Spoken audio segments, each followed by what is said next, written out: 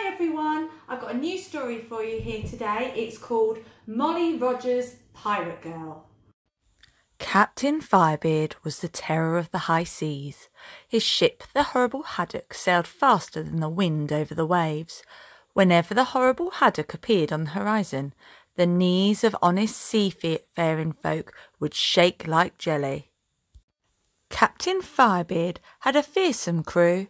His helmsman was Morgan O'Meany, his cook was Cutlass Tom, Billy the Bald, William Woodenhand, Crooked Carl, and twenty more terrible pirates, just like them, made up the rest of the motley bunch. When Captain Firebeard's crew boarded a ship, nothing was safe. They stole the silver spoons and the captain's uniform. They stole the ship's figurehead, the pots and pans, the hammocks and the sails, and of course, they stole all of the casks of rum. But one day, Captain Firebeard robbed a ship that he really should have left alone.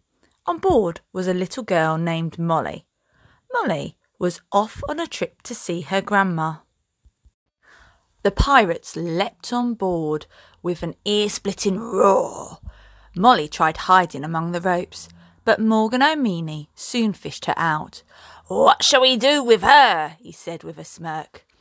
Take her with us, you fool, Captain Firebeard bellowed. Her parents will pay a handsome ransom for such a little treasure, and if not, then we'll feed her to the sharks. You'll be sorry for this, cried Molly. But Morgan O'Meany rolled her up like a herring and tossed her on board the horrible haddock. When the sun had gone down, Billy the Bull dragged Molly to see the captain. All right, tell me your parents' names and address or else, Captain Firebeard growled. Will not, Molly growled back. If I told you my mother's name, you'd be so scared that you'd cry like a baby. At this, all the pirates howled with laughter. So Molly was put to work. She peeled the potatoes and cleaned the boots. She polished cutlasses, patched sails, and scrubbed the decks. Soon every bone in her body ached. Three times a day, Captain Firebeard asked her, Name and address. But Molly just smiled. Feed her to the sharks, roared William Woodenhand. But Captain Firebeard ground his teeth. She'll talk before long, he said. Every night, the pirates had a party.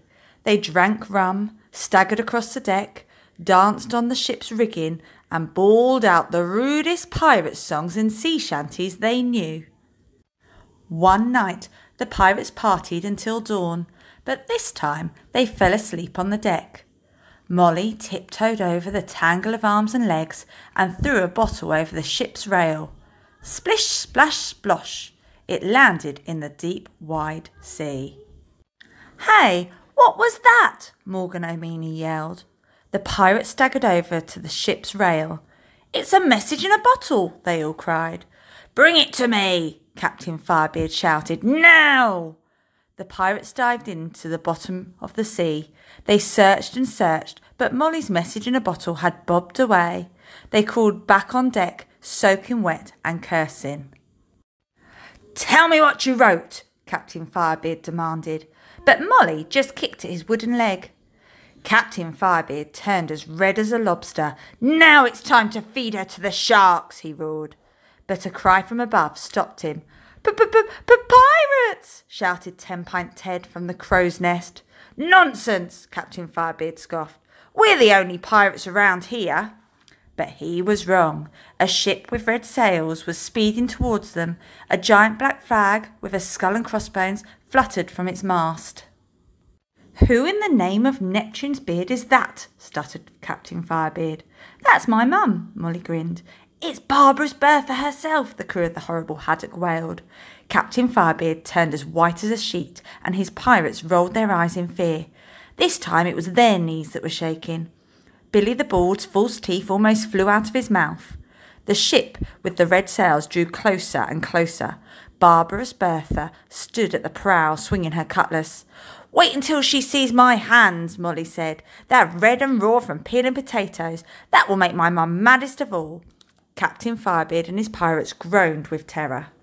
Soon, Barbarous Bertha was alongside the horrible haddock. Her ferocious crew swung themselves over the rail with a terrible roar. We're here at last, my pirate girl, Barbarous Bertha cried, and she threw Molly high into the air. We got your message. Your grandma was beginning to wonder where you were. Now, how nasty can we be to these piratical nincompoops? Well, said Molly, that's easy. From that day on, Captain Firebeard and his pirate crew had no time to think about robbing ships. William Woodenhand scrubbed the deck. Morgan O'Meany and Cutlass Tom peeled potatoes from morning till night.